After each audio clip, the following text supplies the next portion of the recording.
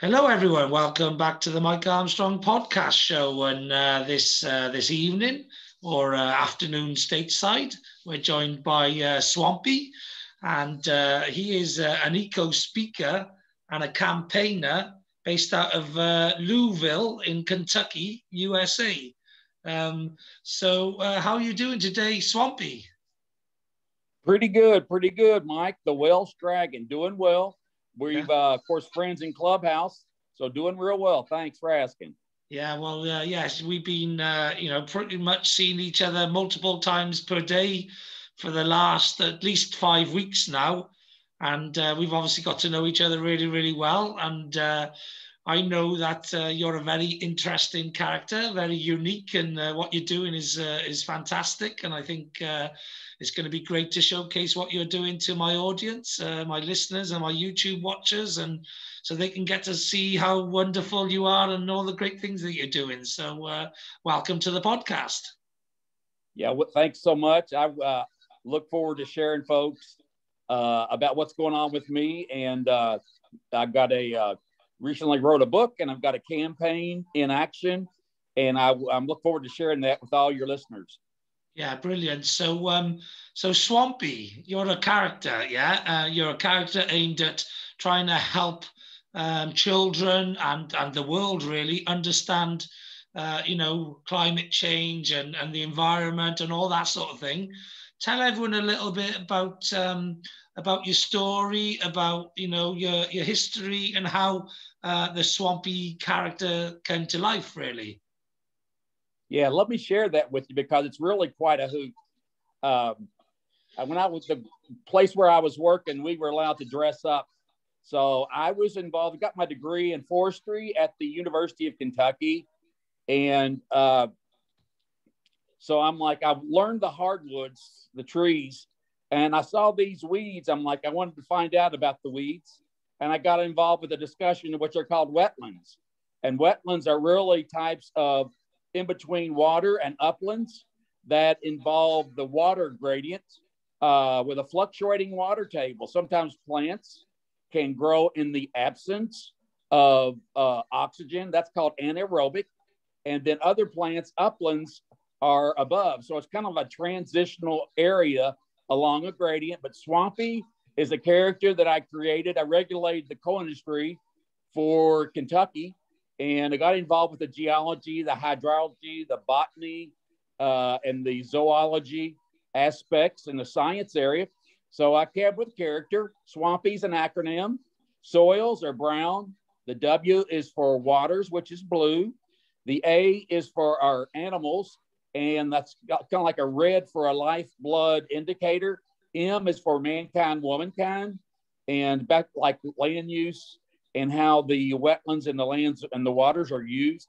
And then P is green for the plants, and Y is for you, which is yellow. So uh, I actually created a costume for Halloween, uh, blue in the middle for water. Then I had the brown on the outside for soils and the green for the vegetation. I got on rollerblades, Mike. Uh, I had a music box underneath it that played swampy songs. And then I had like animals' voices coming out, different types of animals. Okay. And turned up the volume, and the kids could really resonate as far as a living wetland in there. And I got on rollerblades, and I had a swampy face, and I had a swampy stick. And somebody said it was so good at Halloween. They said, Why don't you take that on the road? So I've had a lot of fun stories, Mike since 1995. It's been about 21 years. So yeah, I love reaching out, sharing, and bringing the wetlands to the people. Yeah, yeah, brilliant. And um, and obviously, um, like it's like we were talking about, we we've been uh, um, speaking a long time now on Clubhouse. And there's not many people you meet who's you know into that sort of thing on Clubhouse. You know, into the environment, into you know wetlands and and the animals and all that sort of thing. You know, I, I guess obviously there's a lot of people who are into i think we call it zoology is it animals and stuff and there's a lot of environmental exactly, stuff there are, mm-hmm. there are, you know, there are plenty of people who are into those sort of spaces. There's not so many on Clubhouse uh, at the moment, and I think I did introduce, or I spoke to somebody who was into the um, the oceans. He was an ocean um, uh, conservative or you know look, trying to look after the oceans and stuff.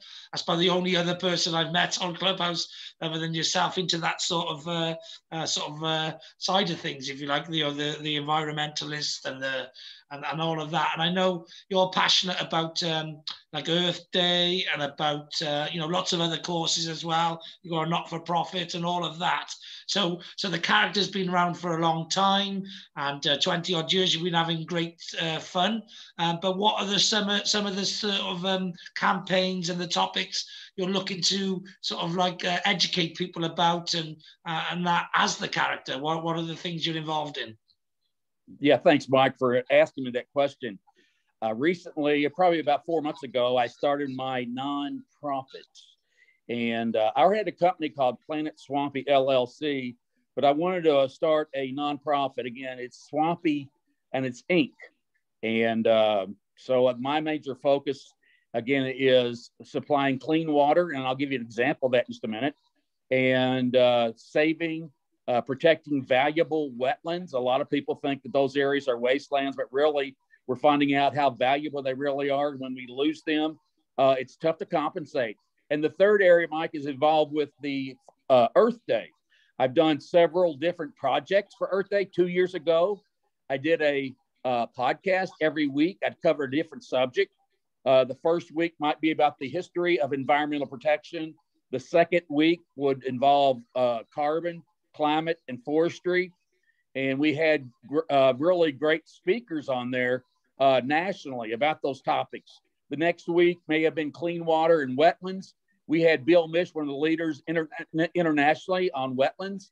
And then we had five more additional topics every week, everything from natural disasters to uh, plastics in the ocean to our rainforest destruction. Then the next year, I did a Earth Day uh, Zoom celebrating the 50th anniversary last year of Earth Day and was able to uh, chime in with a great group, uh, creativemornings.org. So, uh, yeah, a couple campaigns. Uh, wrote my book, Mike. I'm trying to leverage that for a TV show for kids. Uh, I grew up in the, the age when they had something called Captain Kangaroo, and he had his sidekicks, Dancing Bear, Mr. Green Jeans, and Tom Terrific, right? So I've got the same thing. I've got characters, and I'm excited about leveraging that uh, because kids don't really have shows where kids can be kids. So again, again, a couple a couple different areas, Mike, and uh, it's an outreach. Yeah, definitely. So, uh, so you're busy. You're a busy man. I'm a busy man too. So I know what it's like. And uh, you know, you, you got your um, fingers in a lot of pies, if you like. You're involved in a lot of things. How do you um, how do you manage to keep uh, all of it going? I suppose you know enthusiasm is is part of it, but uh, you know obviously I guess you've learned a lot along the way as well. Yeah, you know I have, Mike. I've been doing this for a long time. I do everything myself. I'm looking forward to the nonprofit actually share of some responsibilities of some helpers. Uh, but yeah, I've been doing this. I give interviews involving about the environment. I can tell you that about 15 years ago, I was in competition with Bill Nye, the science guy, to do a live uh, webinar with 500 schools in the U.S. with the U.S. Fish and Wildlife Service in California. And Bill and I both lost out to the electronic heron. So, uh, yeah, it's been nice. Plus, we went on a cruise one time and I mentioned Swampy and they'd heard of Swampy. So I feel like it's a passionate thing. Uh, also, Mike, I've got a compelling personal story as well uh, that has uh, jettisoned me, okay, to the urgency of wanting to have this outreach. So I wanted to just share that with you. Yeah, yeah. Well, tell tell us your personal story because I've heard it before, but obviously for the um, for the listeners and the audience, they haven't heard it before. So tell us a little bit about your yeah your personal story and what drives you on. Yeah, it's a little bit unusual. I grew up one at one one year old. My father uh, passed away, and then at 12, my mother passed away. I was the youngest of four. And at that point, I went into what's called an, you know, an orphanage in Louisville, Kentucky. And it was an institution much different than a natural home. And uh, so I was there for six years. I graduated from there. Uh, didn't really have a father, didn't really have a mentor, kind of a lone wolf, okay, but was able to uh, go to school and end up again at the University of Kentucky getting a degree in forestry uh, and the Bachelor's of Science program. So at that point, Mike, I uh, worked around a couple of different jobs, always trying to stay involved in forestry and the environment. I was a nature sanctuary manager. I worked for the U.S. Forest Service. I worked for FEMA. Uh, was an urban planner for the Lexington Fayette Urban County government. And uh, later on, I, uh, I was married for 28 years, had two great kids. But later on in 1997, Mike, I had a very serious automobile accident.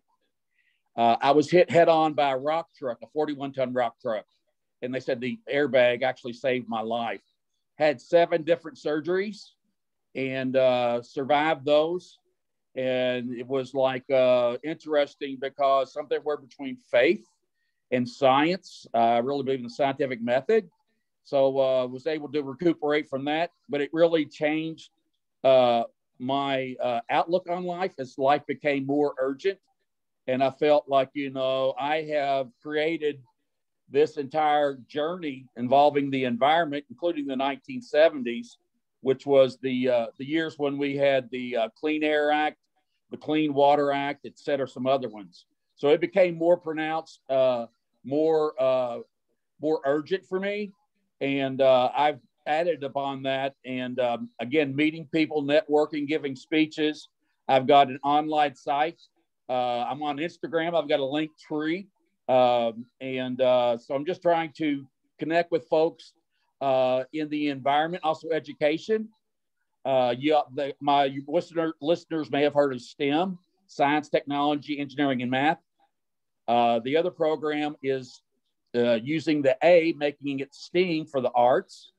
And I have an education program called STREAM, and the R adds for reading, writing, and English, three areas needed uh, before the the kids take their ACT before college.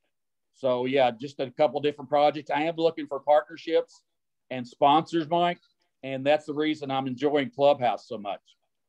Yeah, what sort of people do you think would make good partners and good sponsors and collaborators for you in the not-for-profit and and everything else you're doing? What sort of people would you love, you know, maybe to listen to this and reach out to you?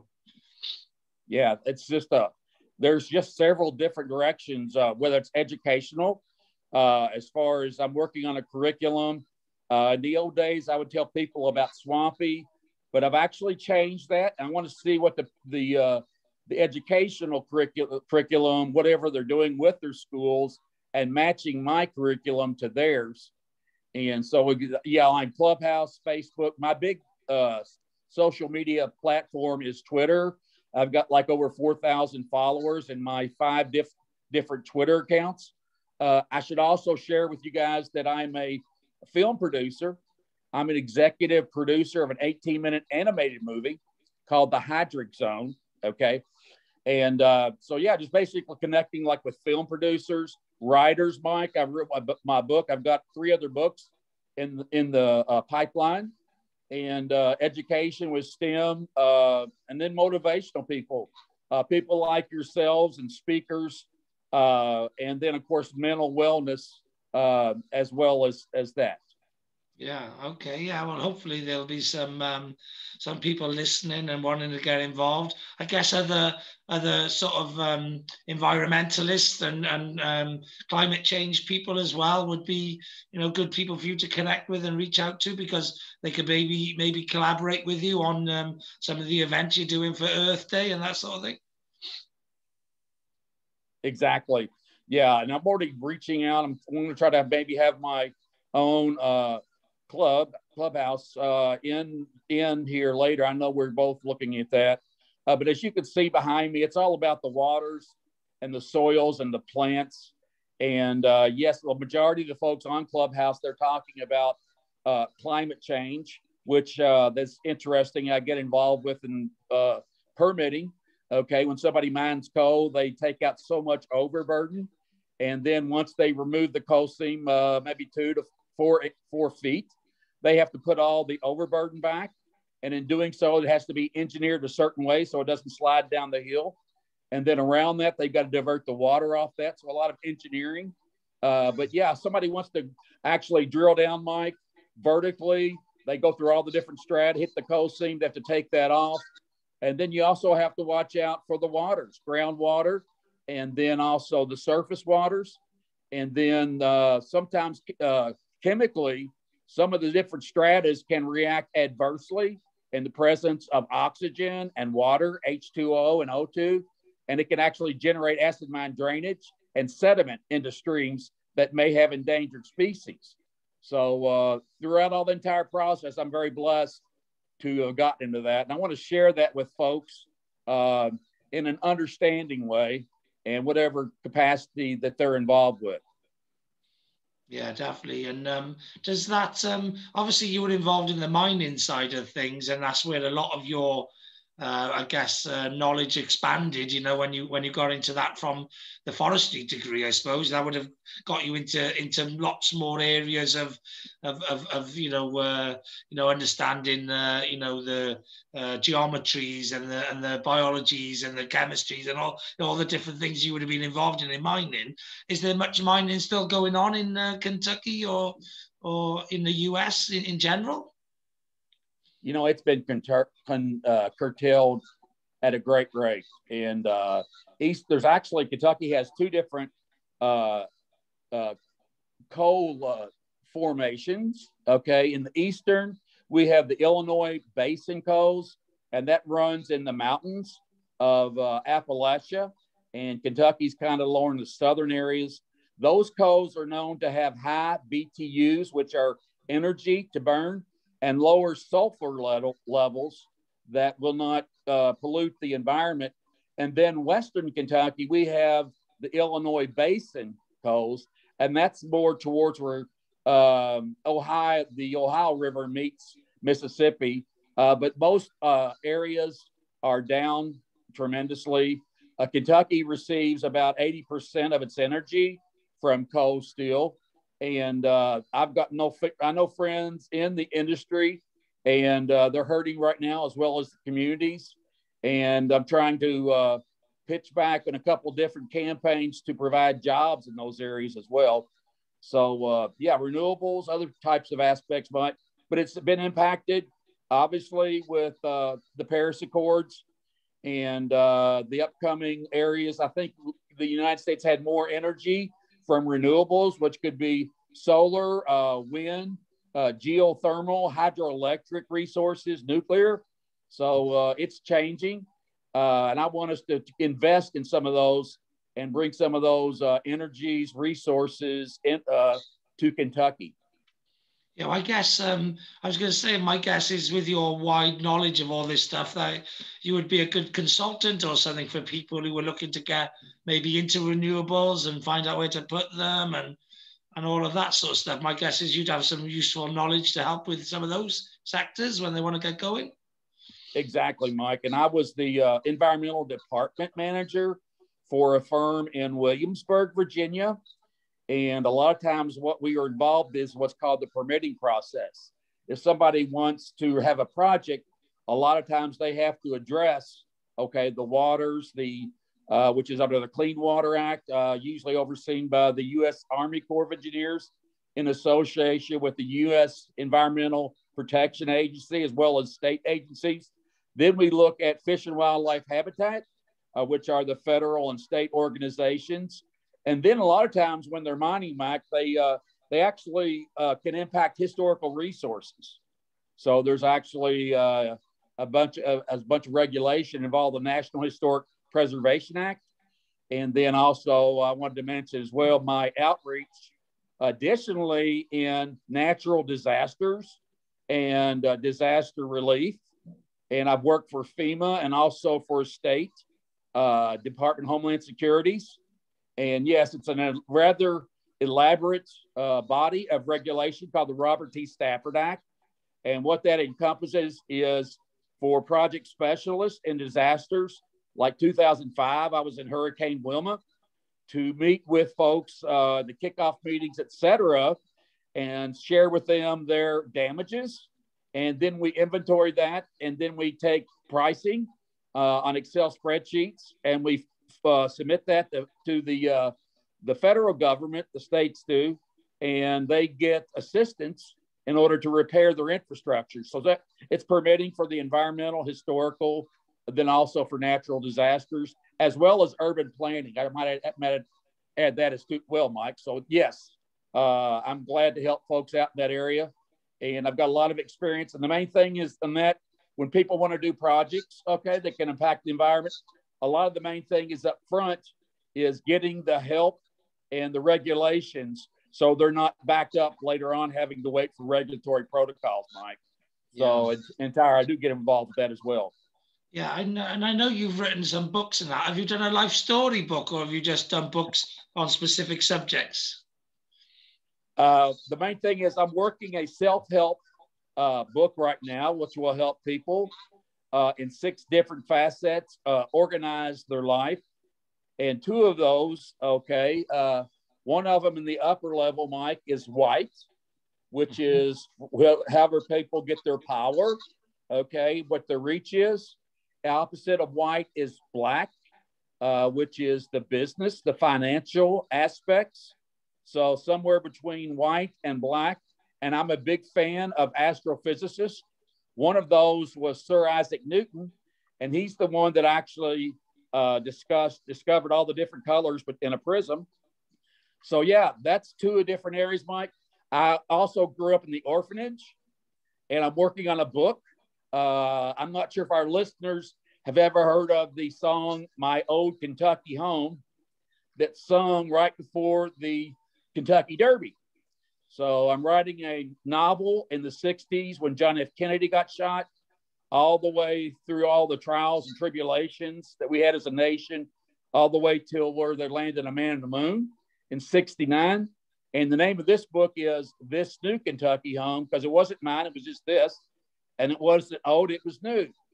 But uh, yeah, the different things that we did as orphanage uh, urchins to try to deal with our situation. And uh, that's one thing, Mike, as well as sci fi. I'm also involved in so far in five different episodes uh, in the Hydric Zone.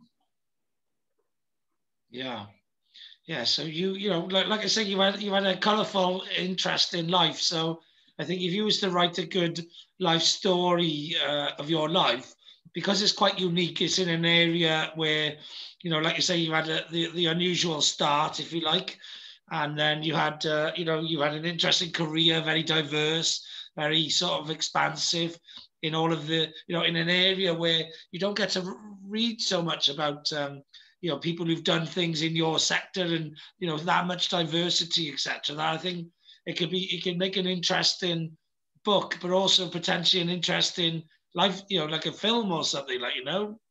Exactly mike. And i'm what i have haven't shared with your listeners yet is the uh the accident in 1997 with a 41 ton rock truck okay and the different uh, ways of being that occurred in that. Uh, before you do that as well, before, before you do that, I've heard about this accident a number of times. How do right. you how do you like uh, take a 41 ton rock truck on? How how do you have a head on collision with one of them? Was, was you in a car? Was you standing on the road? What, how, what, what, what happened? No, you know, Mike, I was actually in a Toyota Corolla and uh, it was icy roads and they tried to dodge someone else but they came over wl lines so yeah i came to uh, traveling home it was cold in december and uh, so yeah i came to had the engine sitting in my lap i looked over to the left i had a compound fracture and there was glass everywhere and i'm like this is not a good thing so I started talking to the responders, and they thought that I was dead, and I started them. Okay. So anyway, different processes that where they use the jaws of life, Mike. When they flew me up in a helicopter, the University of Kentucky Police, excuse me, uh, hospital folks, uh, the ambulance folks actually saved my life. And then I was in a hospital and I went in and out of consciousness. And I give talks about this uh, as well as the uh, the ecology, Mike. And uh, yeah, it was very very interesting. Yeah, yeah, yeah. So and obviously you had to um, do some rehabilitation and all that as well, didn't you? You had to, uh, you know, What, what was what was that all? How long did all that take, and what did you have to do all together? Yeah, exactly, Mike. When I I broke three of my four limbs, and I had what's called mechanical pneumonia, and I could not hardly inhale or exhale. And my father-in-law said, "You need to try to breathe and get these crystals into my lungs that would take out the water." Okay, so I had mechanical pneumonia lying horizontal then later on, I had to uh, learn how to walk again. They did great surgery putting my left femur and tibia back together. Uh, so I did that, and then occupational therapy for the work and physical therapy, uh, getting those joints t- together. I can't tell you a funny story, Mike. Uh, I went in one time, and the doctor said, "Okay, I had a couple screws loose." So she said, uh, keep your uh, keep your your legs still. So I kept my leg still, right? And then the next time I came back, it had atrophied. Okay, I could not move my leg back and forth. And she said, "You nut! You've got to start moving this leg, or it's going to get stuck in place." And I said, "Well, you told me to keep it still, right?" So anyway, learned a lot of different things, Mike. One last thing is, I want to encourage all of our audience. I learned how to swim and it was low impact. And I learned how to flip turn and lap swim. And uh, very, very good, very therapeutic. Yeah, well, that's a good way of um, of uh, physioing after any uh, injury, you know, because it's uh, low impact. Exactly. Yeah, yeah. So, um, so yes, and also um, I think you're um, you're looking to try and get a, a, swampy cartoon or a TV series and all that sort of thing as well. So uh, if anyone's out there, maybe with opportunities for that, I think uh, you know they should also reach out to you as well, shouldn't they? Yeah, they should. And uh, I'm on IMDb, and uh, I'm reaching out to folks. Uh, we had an animated movie, 18 minutes and we want to take that and have actual actors uh, come forward. And we're now looking uh, with Tim Burton and Johnny Depp to actually uh, see if they would like can get them on there. Uh, Johnny Depp is a Kentuckian, uh, as long as Ashley Judd and Jennifer Lawrence. So uh, yeah, we're looking at doing that. again, we want to have something for kids. We lost Mr. Rogers and uh, so, yeah. Yeah, brilliant. Okay, so I've asked you quite a bit, uh, you know, from what I know of of you and what I think uh, the listeners should know. Is there anything I've missed? Because I know you do so much that uh, I'm bound to have missed something. You know, it's not Mike. Uh, uh, I enjoy do, taking interviews, meeting people. I just ask for you if you ever uh, want to uh, contact me individually. My just write to me. My email is swampy s w a m p y at swampy.org or kentglade at swampy.org. And my websites are kentglade.com, swampy.org, Planet Swampy.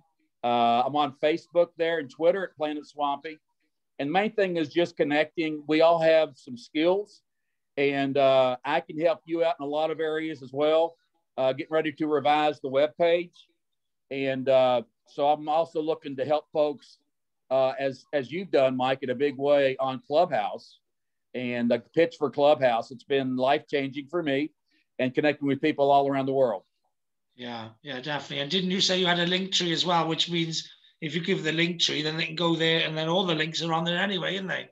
So right, uh, link tree, uh, yeah, dash go swampy and if you connect to that, uh, actually, it's what L I N K T R dot E E slash go swampy.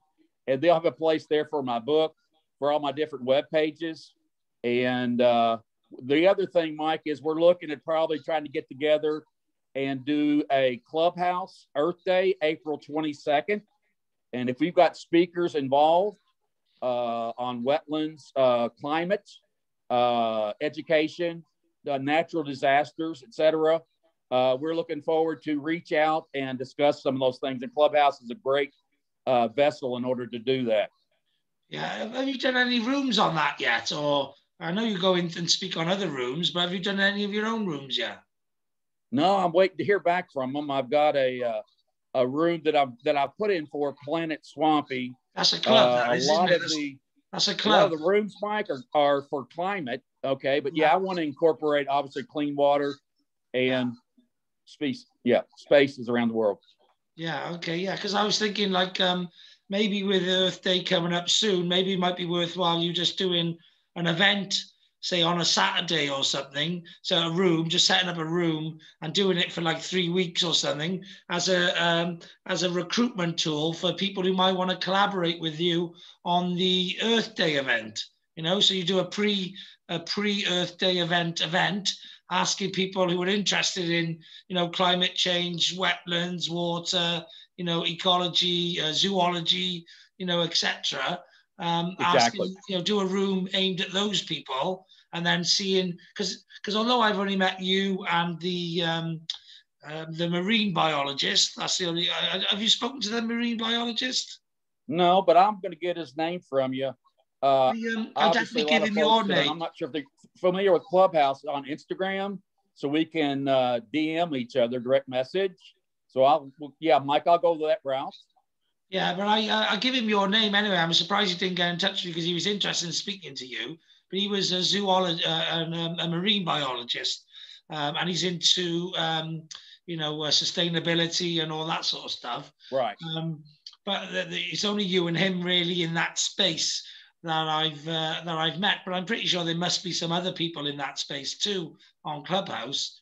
So if you yeah. set up some rooms and uh, and did it for a few weeks prior to Earth Day, then I think you'll get you know maybe two, three, four other you know, similar like-minded people who can, you know, make that event then a, a bigger event like like the mental health summit was with lots of different people from the mental health uh, sector who could all speak on different topics. You know, you could have a an Earth Day where, you know, maybe you had you know six people and you all could do two hours each or you know you could cover different aspects of of the environment and, and the earth and, and make it a you know a, a really good uh, event. You know I'm, I'm pretty sure you could do it on your own and it'd be a good event too. But you know the more the merrier. They all bring more people in and makes it a bigger event then don't it? Yeah and like you said mike there's not a, there's not a great deal of people specifically with clean water there's a lot of folks in carbon and sustainability like you're saying uh, i also wanted to share uh, I've been meeting people in Africa I'm trying to uh, bring clean water to a 250 child orphanage in Western Uganda near Soroti. And uh, it's been great reaching out. One, one nonprofit, they have 1 million wells and the ideal uh, resources on Clubhouse. I'm uh, meeting people from Africa and Tanzania.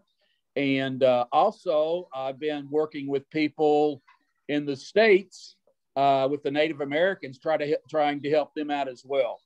So yeah, a couple different outreaches. Yeah, good. Well, um, yeah, I think um, I think we covered everything that I can think of, and you've uh, you've added in all your webs and all your links and everything. So, uh, yeah. is there anything else you wanna want to leave people with, or are we done? You know, I think we're done. Again, my uh, the main thing is the websites. I gave my email address yeah. and uh, link tree a little bit of that. So yeah, I think I'm good. We said about everything. And again, yeah, thanks for letting me share all that. And uh, that's what I appreciate a lot. No problem at all. And uh, thanks for coming on the podcast. And we finally did it. Uh, we're both so busy. exactly, Mike. again, thanks, for, thanks for holding space for our room. And I'll, of course, help you out in that as well. Yeah, no problem. That, that, that's why it's always been quite hard to nail this down because usually when I'm shooting off, you're covering the room or, or whatever, like you know, or or you're busy or I'm busy or whatever. But we finally done it. So uh, yeah, thanks very much for coming on the podcast, for sharing all your uh, information and your links and everything. And uh, I look forward to uh, next time you come on. Maybe we'll do a, a review of Earth Day or, or a plug for that or, or something once you know That'd what the great, lineup Mike. is and what the event's going to be. So, uh, yeah, just have a great uh, day. Uh, I know I will, as I always do. And uh, thanks very much for listening to all my audience. And, uh, you know, check out Swampy and everything he's doing. Get to that website and that link tree and check him out because I'm sure there's some great things that you want to get involved in. Yeah, and if you're on Clubhouse, um, my ta- my label is at Swampy. Most people have two names. Mine is just Swampy. Yeah, brilliant. There's only one Swampy, and there's only one name. That's all you need. So, uh, yeah, brilliant. Yep. Have a great day, and uh, catch up with you on Clubhouse. All right, man. See ya. Take care. Bye.